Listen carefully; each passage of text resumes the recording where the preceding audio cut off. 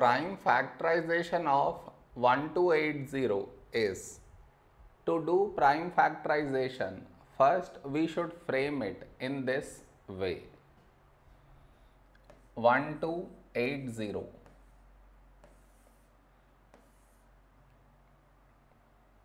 this is your step 1 next. In this number last digit is 0 so you take 5 here. First number 1 smaller than 5 so take two numbers 12 a number close to 12 in 5 table is 5 2's 10 12 minus 10 2 2 carried forward 28 a number close to 28 in 5 table is 5 5 is 25 28 minus 25 3 3 carried forward 30 when do we get 30 in 5 table? 5 6 30 now here last digit 6 A1 so take 2 first number 2 when do we get 2 in 2 table? 2 ones 2 the other number 5 a number close to 5 in 2 table is 2 2's 4 5 minus 4 1 1 carried forward 16 when do we get 16 in 2 table? 2 8s 16. Now here last digit 8 A1 so take 2. First number 1 smaller than 2 so take two numbers 12. When do we get 12 in 2 table? 2 6 12. The other number 8 when do we get 8 in 2 table? 2 4s 8. Now last digit 4 even so take 2. First number 6 when do we get 6 in 2 table? 2 3 6.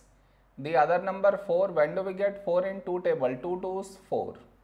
Now here last digit 2 even so take 2. First number 3, a number close to 3 in 2 table is 2 ones 2. 3 minus 2 1 1 carried forward 12. When do we get 12 in 2 table? 2 6 12. Now here we have 16, 16 is 2 8s 16. Now we have 8, 8 is 2 4's 8. Now we have 4, 4 is 2 2's 4. Now we have 2, 2 is a prime number so 2 1's 2. So we got 1 here. So the prime factorization of 1280 is the product of these numbers.